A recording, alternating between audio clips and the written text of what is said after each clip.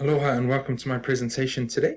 Uh, my name is Jordan Richards. I'm from Auckland, New Zealand, currently majoring in business management, focusing on supply chain operations.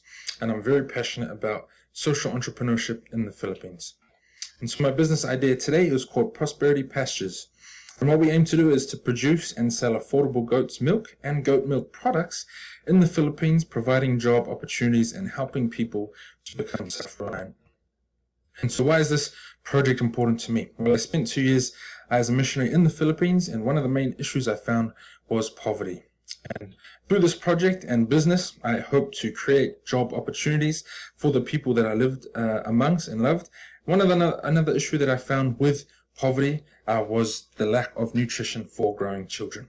And so they lack their basic uh, daily needs through the diet. And that is something else I aim to tackle through this business idea. Also, through a previous project I owned, Pigs for Prosperity, also came to find that raising livestock can be very expensive. And so one thing I aim to do is reduce those costs, uh, which I found is very possible through the raising of goats.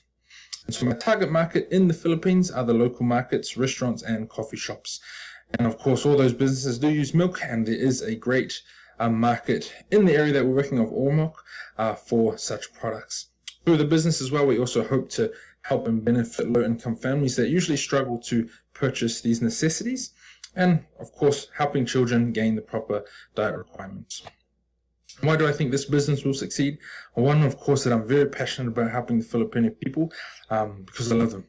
Another thing is we have already started in the Philippines. We currently own about 14 goats and have invested money to building current facilities uh, where they are housed as well.